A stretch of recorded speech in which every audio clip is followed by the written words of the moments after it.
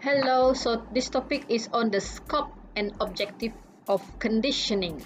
Okay, when we are assigning a conditioning session to our athletes, to our client, we need to uh, identify what are the objectives or what is the main objective and the scope that we need to uh, follow uh, through uh, designing or conducting the training for for the athletes okay right so we should define the training itself Ladies and gentlemen, training is a systematic process in which athletes improve their fitness to meet the demands of their sport. If the training not following the sequence, uh, the, the, the rules of the training, so it is not systematic, therefore the fitness improvement cannot be uh, observed at the end of the, the session or not not session at the end of the period uh, period or months or weeks after you conducting uh, the the pre-test okay? So we we as uh, those who are giving the session to athletes we we love to see improvement the progress uh, so that they improve uh, in the fitness especially okay? And we should understand that training is a long-term process and it should be progressive to meet the individual athlete's demand or at the level of fitness and conditioning nothing comes in short term. If it is short term something's not right. Okay? We are not um, uh, menggalakkan things as short term then you gain gain the performance uh, no such thing. Uh, I guess it's something that uh, illegal in our field uh, in our sports science field okay? And then uh, training should using both general as event specific to the exercise or to the sports okay. Uh, if the athletes are long distance runner. So in, in general all the athletes must have a very strong foundation of uh, stamina. Okay. The cardiovascular should be uh, no problem. When we go for the more specific event specific uh, we, we stick to the the long distance runner the athlete should be able know how to to to to uh, prolong their their performance uh, upper and lower body endurance for example. Because they need a repetitive uh, arms arm swing repetitive stride uh, for long duration of, of of a time. Long distance runner can they run up to one or two hours. Distance is very very long 20 kilometer maybe right so when, when we, we train athletes, we go starts from general up to the event specific. And the event specific, uh, we, we sh should understand uh, the, the, the need of that sport. So training is a cyclical process. Uh, we we illustrate in a cyclical because uh, the tear down will happen after the tear down the athlete should recover when they recover they should reach a level when a level that we call super compensation ha getting stronger huh? incredible huh? and then the build up will happen huh? adaptation and then we tear down again uh, tear down is a good way and not tearing down uh, injury uh, so we go very specific after this okay all right so this is the super compensation cycle of a training session Let, let's take a look at, at the graph okay when the stimulus being um, given to the athletes. Uh, we expect fatigue will happen of course after one training session. Uh, the fatigue will happen after you giving stimulus meaning that you give the training. So fatigue will happen because the loss of uh, energy the loss of electrolyte the loss of uh, creatine phosphate in the muscle. We go back to physiological class. And then we should expect mm, as a coach or the uh, sport conditioning specialist we should expect uh, the athletes uh, physiologically will compensate okay throughout the rest and recovery they should recover. And then when the compensation happen they replenish back all the energy loss uh, due to the training tadi tu. They replenish back the electrolyte they store back the glycogen losses due to the training kan? They store back the creatine phosphate and then up giving the body time to recover uh, the athlete should reach a condition a situation called super compensation if we look at the, the, the this graph, uh, this is the best uh, graph to illustrate the super compensation cycle. There, there, there is an, a slight improvement from the pre. Yang this line is um, the pre-training fitness. Huh? Then if if the super compensation happen, uh, the athletes should reach a new a new level where they are improved in fitness. Nampak tak di sini? A slight improvement is expected. Okay. When we train our athletes, when we train our our players, uh, we expect super compensation should happen uh, after the training. It maybe it took like one or two days. Depends on the the the volume of the training depends on the training athlete status depends on the what type of training they are given and depends on the what season are they okay all right if if the next training session after you giving first training session super compensation happens huh? the athlete is getting stronger uh, after recovery stronger they perform they gain the benefits for it they adapt First session and second session, the gap should be not too long. If it's too long gap between two stimuli, uh, two stimulus, training satu hari Senin, the next training Jumaat. What do you think? Is that a sufficient ataupun terlebih recover? When there are extra, too much of recovery, then the body will be losing some fitness. That what what's we call involution. As a trainer, we should understand involution will happen if it is too long gap between training 1 and training 2. Hmm.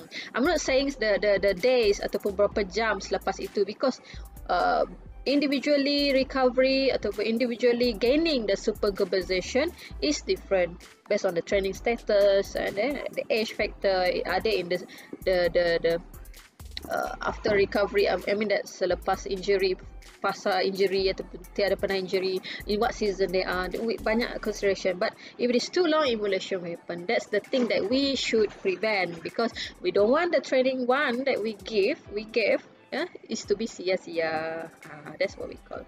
Okay this is uh, the explanation that you can read on your own. Right? So super competition is what we expect okay as trainer because we want the athletes to build we want the athletes to adapt. Mm. Right so what if overtraining? This uh, graph with illustrating uh, the overtraining. Overtraining will happen if let's take a look at this color graph ni. The the the stimulus uh, being given. Okay the blue color fatigue yes of course after training session. The body tries to recover at the red one but insufficient days insufficient time ataupun insufficient um, space uh, for recovery to the muscle or to the physiological of the athletes, uh, causing the athlete will will be overtrained. Hmm, tak sempat nak nak recover, we give another training. See, another training be given, tak habis uh, recover, and then they will get fatigue again. Then they recover again. They try to recover the physiological. Is try to uh, to to to feel back what's their loss. And then the the next training session tak cukup lagi recovery. So what happened? Uh, this this graph you tengok ah when you look you look at this graph the fitness uh, daripada pre pre step tu this uh, straight line is uh, fitness uh, secara best in the best fitness they're getting uh, worsen and worsen and then that's uh, that's what we, we we are discussing on uh, overtrain injury might happen you know the syndrome of insomnia might happen. And then the athletes will uh, uh, experience many more types of injury instead of uh, muscle injury. There were something like migraine maybe and then uh, eating disorder right? The the uh, uh, chaotic of hormone here and there. We talk about hormone banyak lagi ya so overtraining should be uh, uh, prevented at all costs to the trainer so trainer should understand you should understand this uh, the the the need to to to give the sufficient recovery and the best time to give the next session. If it is too long gap, terlampau lama recovery lima lama rest, uh, passive rest lagi tu, then it will cause involution, the drop of performance. Kan? Tapi kalau terlampau pendek masanya to give the recovery, tak cukup lagi, they also cause overtraining. Uh, they feel very exhausted, fatigue, uh, fatigue yang exhausted sampai susah nak nak nak kembali lah pada uh, fitness sebenar. Okay what should we expect as a trainer? So in this first uh, first graph. This graph the stimulus then fatigue recovery up to the red one. Okay this com super compensation happen. The body is getting stronger fitter uh, the next session should be given. Uh, this is where the next session is given. Yes. Okay. What if it is too easy? What if it is too hard? Too hard, of course, something bad will happen. if it is too easy, yeah, something will happen too. Okay. If the training is too easy in this uh, uh, situation, uh, okay, let's take a look at too easy. The story, our too easy story. Uh, the dot dot and the, the bigger dots here. Okay. If it is too easy, it is um, described as the training that you give to athletes is very easy.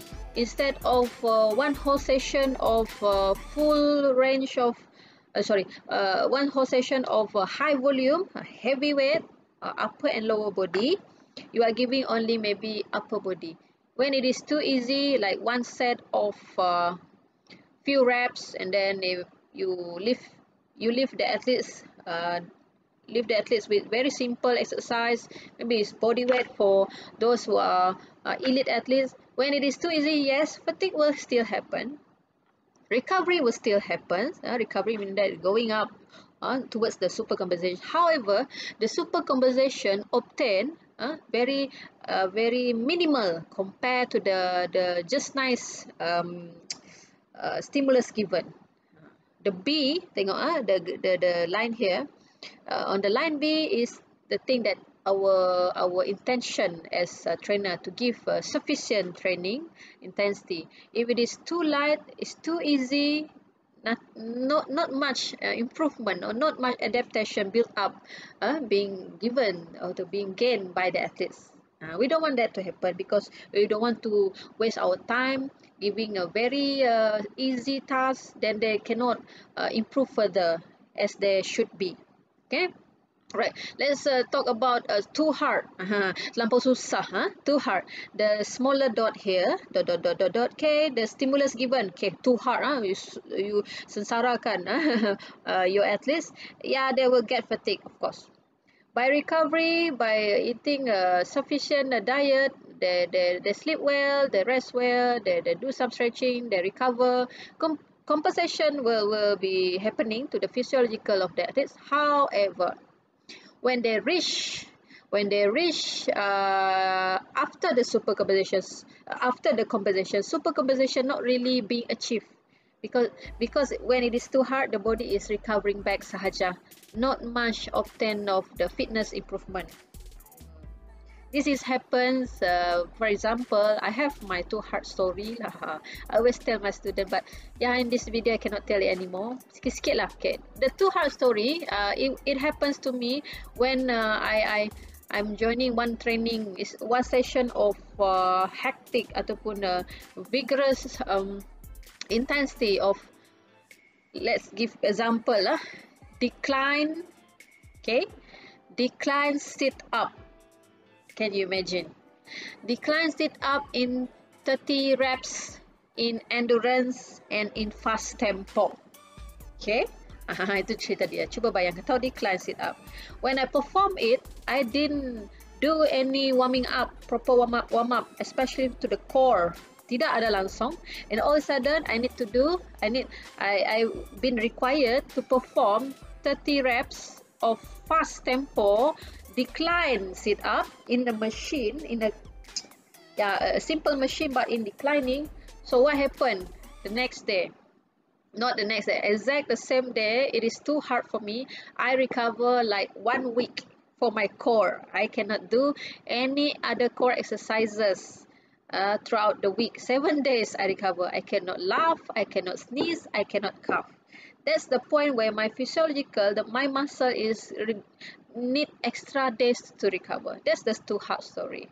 I cannot get any super compensation so that what a waste of that one training session is killing killing my my my core ex, core region uh, the sit ups okay?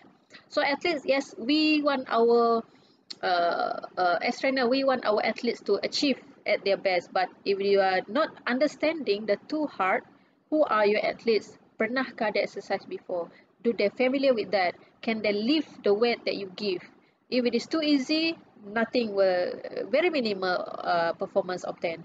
If it is too hard they need extra time to recover. And if it is too hard again it can cause uh, uh, overtrain or injury. Okay? So as a trainer we need to to ensure that we reach the b the line b. Uh, the on time the just nice intensity just nice time for the athletes so understanding this one uh, in in return we are expecting this kind of fitness improvement by time giving the the stimulus stimulus over and over again L1 stimulus 1 training 2 training 3 training 4 up to the overtime. We expect to see improvement in fitness. Uh, by right lah. Uh, uh, regardless of other external factors that we cannot control. But if the external factors that we we we cannot control the the worst part injury of the athletes. Sometimes they need extra because uh, the the sports season you know they need rehabilitation. So that fitness uh, being um, disturbed uh, sekali sekala. So this is uh, the the secara kasarnya fitness uh, expectation of a trainer. Okay? Right so ladies and gentlemen there are some principles of training that uh, we we must understand every principle. Actually it's more than this not not even 10 uh, don't fix it. Understand the principle of fitness by by highlighting okay? If i read it i'm sure you guys are very familiar. You can explain in your own term that's the meaning of that principle training. You give example uh, readiness. If your athlete is not ready to perform conditioning yet you shouldn't give them that training. Uh, if you are training in the lower sorry if you're training the underage okay focusing much on the conditioning maybe it will uh, influence the the the muscular growth ataupun uh, bone growth. So if that is not ready don't give ready is after is well trained you know. Off season maybe after the after the injury rehabilitation. During injury tak ready cannot give uh, as a sports conditioning. And the second one individual response. Every individual response differently. You should understand that. Uh, kalau cakap male female no uh, age factor training status types of sports how the response different. It beginner ataupun dah lama elites pernah injured tak pernah injured. How the response is different. So you should understand and many many many more okay? So yeah be familiar with principal training. Know how to achieve the super compensation uh, just nice uh, recipe the just nice super compensation and then you can achieve uh, you can let your athletes to achieve to gain uh, adaptation ataupun improvement due to that training that you give. Right? Thank you